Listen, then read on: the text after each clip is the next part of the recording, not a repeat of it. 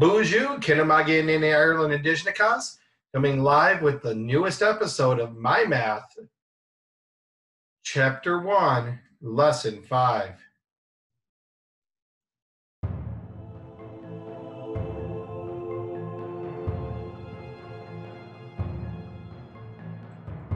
right, we're back here in Chapter 1, Lesson 5, Hands-on Understanding Place Value. We've been looking a lot at what decimals would be as fractions and vice versa. The essential question in chapter one remains, how does the position of a digit in a, in a number relate to its value? We now know that a seven in the hundredths place has a far different meaning than a seven in the hundreds place.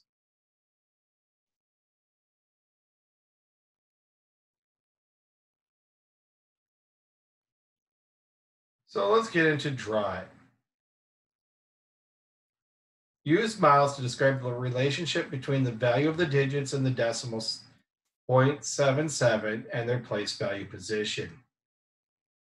So I could show you the model to show 77 hundredths. So let's pull out my annotation tool here. You can fill it in in the book as so as I get my annotation tool back here, there we go. I'm gonna have to draw and set, now we're looking at the first digit. The first seven tells me I need to color in seven rows, so you should cover in seven whole rows.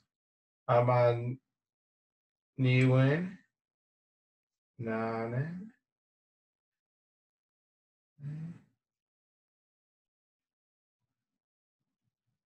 Ishwasway. Now the second seven tells me I need seven more. Means I should have three left. So now I have drawn in 77. Did you notice that I did a lot more coloring in for that first seven than the second? If not, then we will soon catch up to it. So in word form, 70 what? 77. Type that in there for you. The standard form, 0.77 place value chart can really help you out here. You see that we have ones, that's still in your whole number. We're not dealing with any ones. So I'm gonna put a zero on the ones. How many tenths? Move it over here to seven. And then in the hundreds, seven. So you should have that filled in somewhat similar to this before we move on further down page 37. All right, I'm going to go ahead. If you need to, at any point, if you need to pause the video to draw something in, or if I'm moving a little fast and you need to stop me for a second, go ahead and hit that pause button. You're in control of your own education at home. If you need to pause something and write it in or double check, by all means, please do such. So I'm going to keep moving down here onto my next slide once I close this out here. And that's going to be the step two. 77 hundredths. So the value of the digit 7 in the tens place is 0.7 or, back to my annotation tool to type it in, 7 tenths. That's that first 7. But the value of the in the hundreds place is no longer 7 tenths, it's 7 hundredths. Difference between 7 dimes and 7 pennies. Use a calculator to find 0.7 divided by 0.07. So how many times does 7 go into 70? If you said 10, you have the right answer. So we're going to say, wait a minute, we talked about this. 10 times greater? And it's just in the next spot over in the place value? Huh. So the value of a 7 in the tenths place is 10 times greater as much as the value of 7 in the hundreds place. The value of the digit 7 in the hundreds place is how many times as much as the value of 7 in the tenths? Well, that's the that's going to be slightly different. That's going to be one tenth. Oops, a little too far over, my friends. We fix that for you, for those of you keeping score at home. So we have 1 over 10. So what we're starting to realize is as we go this way to the left on the place value chart, the value of a digit is 10 times greater than the value of that same digit in the previous column in the place value. We're going the other way, going this way, the value of the digit is one tenth the value of that same digit in the previous column. That, my friends, is really what chapter one is trying to impart in you. If you remember that, you will have definitely earned a three on at least that particular standard.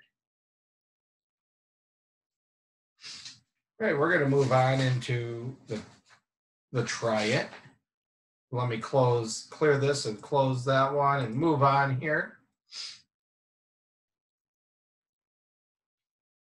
Try it, and there's going to be two parts to this one as well.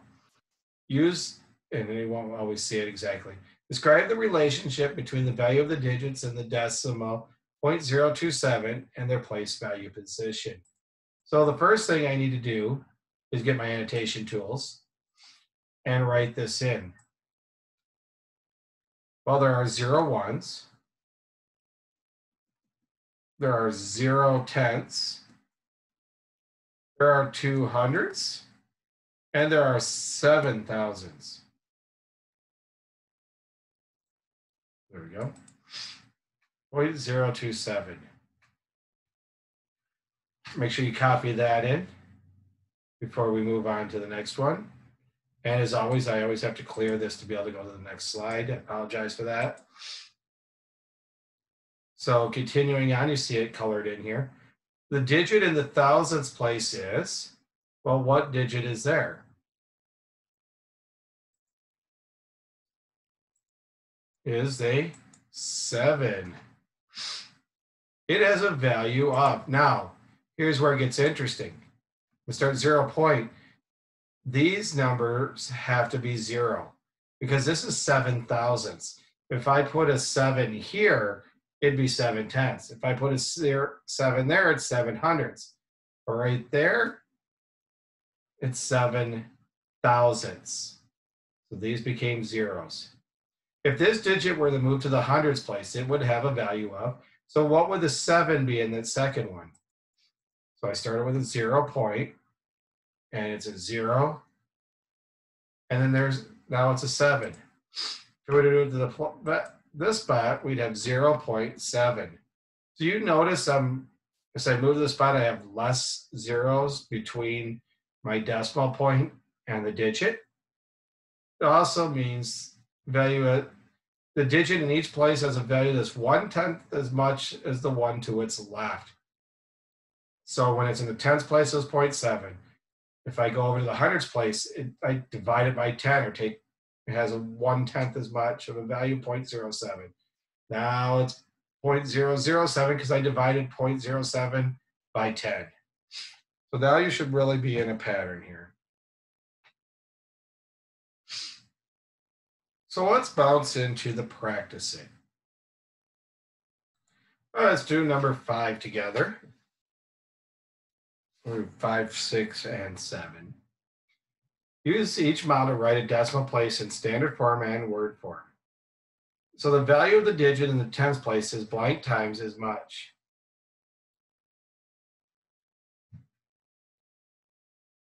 As a digit in the hundreds place. Well, if you remember, it's automatically going to be 10 times as much. It is 0.55 55 hundredths. Now you go ahead and do number six. Pause the video, and when you're ready, come back. Welcome back here. So let's use this here. The value in the hundreds place, 0.09, is one tenth as much as in the tenths place, 0.9. Nine pennies is one tenth as much money as nine dimes. And you can see there's just one lonely square that's not colored in. All right, let's go to step seven, or sorry, number seven. Go ahead and fill this one out, pause your video and come back when you're ready. Welcome back. The value of the digit in the thousands place is blank times as much as in the hundreds. Well, we know that this pattern continues on, and so it's one tenth, one tenth as much as the digit in the hundreds. And if we went to the ten thousandths, that'd be one tenth of the value of the thousands place. So in here, 0.022, there are no whole ones colored in. There is no whole slices. There are two columns and two blocks, 22 thousandths. All right, your next step for us will be to work on the homework. There are a few problems that we have skipped. If you need to practice and you want to check in with me, I always encourage that. You're do the homework on 41 and 42. And then if you have the opportunity to take a picture and send it to me or bring it to our next live session, it would be greatly appreciated. Um, I will be getting back to you with your recent quiz that you took. If you haven't yet taken that quiz, please do such. Uh, that way I can give you the assistance you need. But for tonight, I'm going to wish you a Minagijigat and Mama P.